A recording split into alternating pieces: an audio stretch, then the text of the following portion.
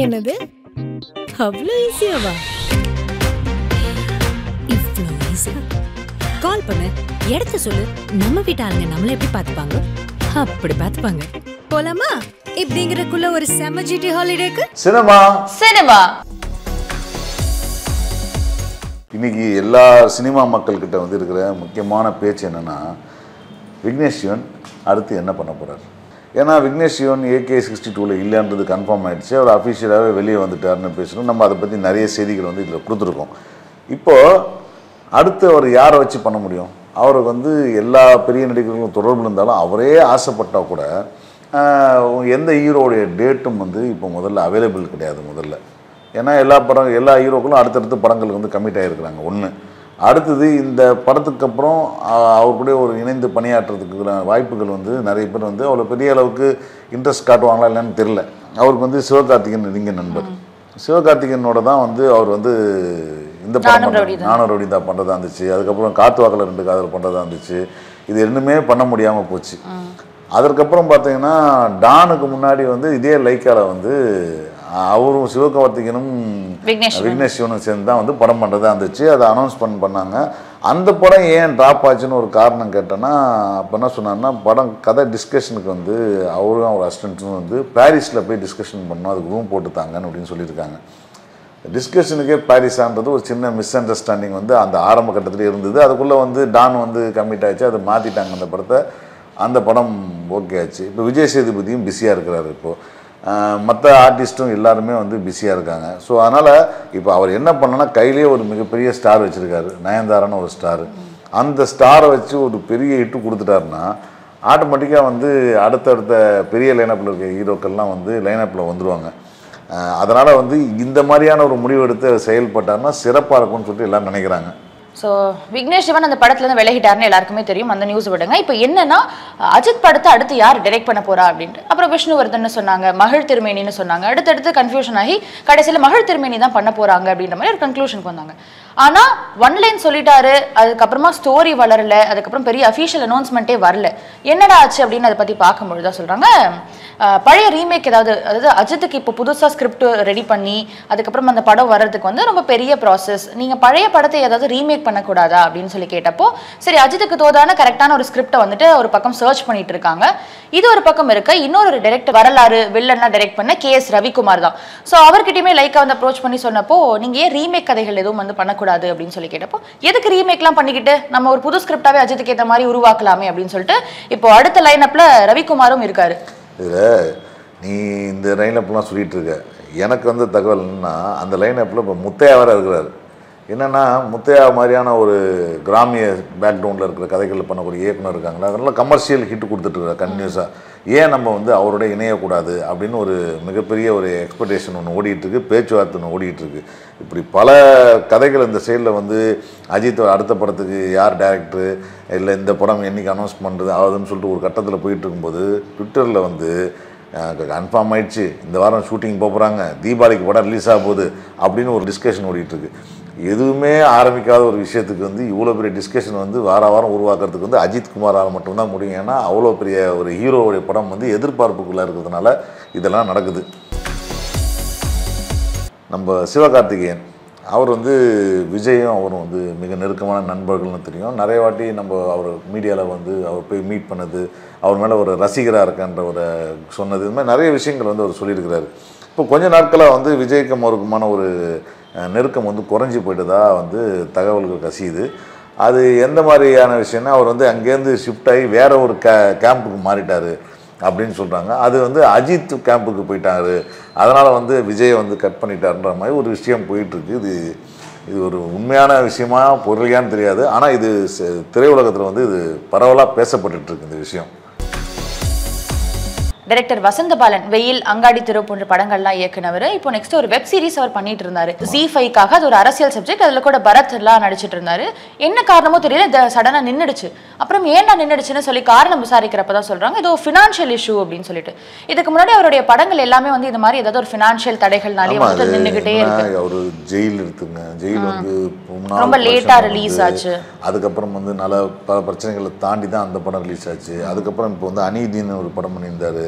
அவருடைய நண்பர்கள்லாம் சேர்ந்து ஒரு சின்ன பட்ஜெட்டில் வந்து ப்ரொடியூஸ் பண்ணியிருந்தாங்க. அந்த படம் வந்து வியாபாரம் பண்ணுறதுக்கு முன்ன பின்ன ஆகி அவர் வழியா இப்போ வந்து சங்கர் சார் டேக் ஓவர் பண்ணதுக்கப்புறம் அவர் மூலமாக ரிலீஸ் பண்ண போகிறாங்க அதனால் ஒரு வியாபாரம் ஆகிறதுக்கான சாத்தியக்கூறு வந்துட்டு இந்த படமும் பார்த்தீங்கன்னா இந்த அடுத்தடுத்து இந்த பிரச்சனை மாதிரி எப்பயுமே வந்துட்டு ஃபினான்ஷியல் தடைகளா ச- சந்திச்சிட்டு இருக்க அவர் வந்து இப்போ இந்த வெப் சீரிஸ்க்கும் வந்து அதே பிரச்சனையை தான் சந்திக்கிறாரு.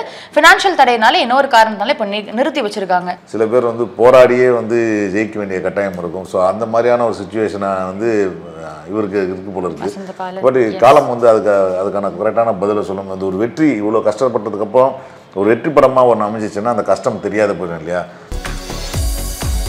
ஆப்பிள் ஃபோன் ஃபோர்டீன் ப்ரோ அப்படின்னு ஒரு ஃபோன் விட்ருக்காங்க அந்த ஃபோன் விட்டதுக்கப்புறம் வந்து பார்த்தீங்கன்னா ஆப்பிள் ரசிகர்கள் வந்து ஆப்பிள் ஃபோனை பற்றி ஆகா ஓகன்னு தான் சொல்லிட்டு இருப்பாங்க. அது அது யூசர் ஃப்ரெண்ட்லி அப்படி இப்படின்னு எல்லா டெக்னாலஜியை பற்றி ரசிக்கிறவங்க ஆப்பிள் யூஸ் பண்ணவங்க யாரும் ஆண்ட்ராய்டு யூஸ் பண்ண மாட்டாங்கன்னா பேசிகிட்டு இருப்பாங்க. ஆப்பிள் வந்து இன்னொரு பக்கத்தில் வந்து என்ன பண்ணுறாங்கன்னா ஐஃபோனில் படங்கள் ஷூட் பண்ணுறதுக்கான மோட்டிவேஷன் வந்து உருவாக்கிட்டே இருக்காங்க. தொடர்ந்து ஐஃபோன் வந்ததுலேருந்து ஷூட் பண்ணிட்டு இருக்காங்க கொஞ்ச நாளுக்கு முன்னாடி கூட நம்ம நிகழ்ச்சியில் சொல்லியிருந்தோம்.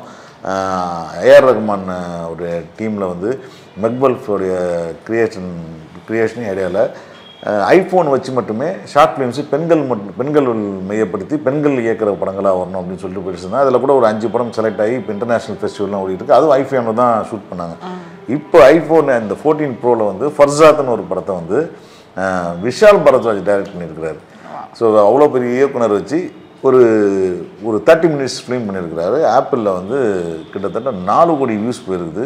அது விஷுவல்ஸ் அந்த கதை இப்போ சொன்னோம்னா அது வந்து ஸ்பாய்லர் ஆகிறதுக்கான வாய்ப்பு இருக்குது ஆனால் அந்த விஷுவல்ஸ் பார்க்கும்போது அவ்வளோ அட்டகாசமாக இருக்குது நீங்கள் வந்து இப்போ லேட்டஸ்ட் கேமராவில் நீங்கள் படம் எடுத்தால் என்னென்னலாம் பண்ண முடியுமோ அத்தனையுமே அவர் ஐஃபோனில் ஷூட் பண்ணக்கூடிய சாத்தியக்கூறுகள் இருக்குன்றது வந்து அந்த படம் மூலமாக ஏன்னா சேசிங் இருக்குது டாப் ஆங்கல் ஷாட் இருக்குது ட்ரோன் ஷாட்ஸ் இருக்குது இது மாதிரி என்னென்னலாம் உங்களால் ஷார்ட்ஸ் அந்த படத்தில் நீங்கள் வைக்க முடியுமோ அத்தனையுமே அதை பயன்படுத்தி ஒரு நல்ல சுவாரஸ்யமான கதையும் கொடுத்துருக்காங்க. இல்லாட்டா வந்து ரிலீஸ் பண்ணி ஒரு கொஞ்ச நாள்ல நாலு கோடி வியூஸ்லாம் போகாது. அது எதில் அவைலபிளா இருக்கு? யூடியூப்பில் அவைலபிளாக இருக்குது நீங்கள் ஃபர்ஸ்டாத்துன்றது நீங்கள் பார்த்தா தெரியும் உங்களுக்கு. பிப்ரவரி மாசம் வந்தாலே வந்து இளைஞர்களுக்கு எல்லாம் கொண்டாட்டம்னே சொல்லலாம். ஏன்? ஏன்னா வேலண்டைன்ஸ் டே வருது. அது இளைஞர்கள் மட்டும் ஏன் கொண்டாடணும்? அது வந்து குடும்பஸ்தர்களுக்கு கொண்டாட்டம் புதுசாக கல்யாணம் பண்ணவங்களுக்கு கூட கொண்டாட்டம் ஏன்னா வந்து அந்த மாதம் வந்து இருபத்தெட்டு நாள் தான். சம்பளம் சீக்கிரம் ரெண்டு நாள் முன்னாடி வந்துடும். ஆனால் இன்னொரு பிரச்சனை இருக்குது. இந்த மாதம் ரெண்டு நாளுக்கு முன்னாடியே முடிஞ்சதுனால அடுத்த மாதம் இஎம்ஐ முதலே கட்ட வேண்டியிருக்கும். அந்த ஒரு பிரச்சனை இருக்குது. ஸோ எஸ் எல்லா பிரச்சனைகளுக்கெல்லாம் தாண்டி வேலண்டைன்ஸ் டேன்னு இருக்கு.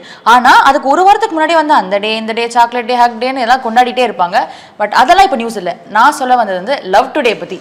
Okay yes so love today நம்ம எல்லாருக்குமே தெரியும். ரிலீஸ் ஆகி பிப்ரவரி டுவெல்த்தோட ஹண்ட்ரட் டேஸ் ஆகுது.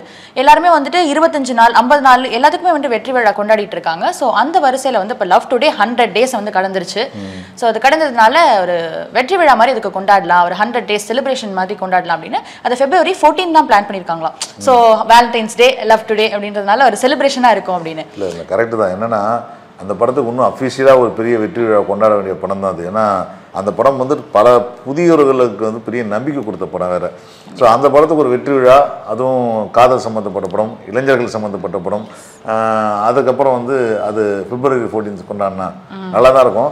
ஆனால் அதை பத்தி விசாரிச்சப்போ என்ன சொல்லிட்டாங்கன்னா இன்னும் எதுவும் கன்ஃபார்ம் ஆகல அப்படின்னு. ஆனா அதுக்கான வேலைகள்லாம் ஒரு பக்கம் லைட்டா போயிட்டு இருக்க மாதிரி தான் வெளியே வரும்போதே வந்து அதுக்கான பிளான் ஓடிட்டு இருந்தா அர்த்தம். அது வந்து திடீர்னு அனௌன்ஸ் பண்ணாங்க பிப்ரவரி ஃபோர்டீன்த் லவ் டுடே விளையாடும் போது இன்னும் ஒரு கோலாகல கொண்டாட்டமாக இருக்கும் இல்லையா? எஸ் லவ் டுடே செலிப்ரேட் பண்ண மாதிரி இதுவும் வந்து ஒரு ஆடட் ஆன் செலிப்ரேஷன் மாதிரி இருக்கும்.